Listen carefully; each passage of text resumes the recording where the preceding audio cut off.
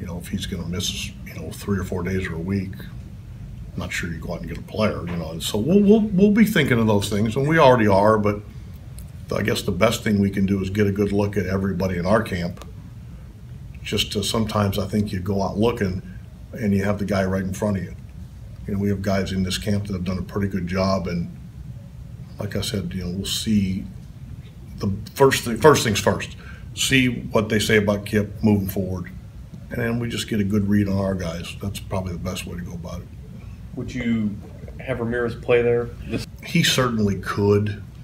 I think, you know, we moved him around so much last year, and he did do a good job. That's something we're going to talk about. I think our first choice is not to, but we'll, we'll see. We'll see.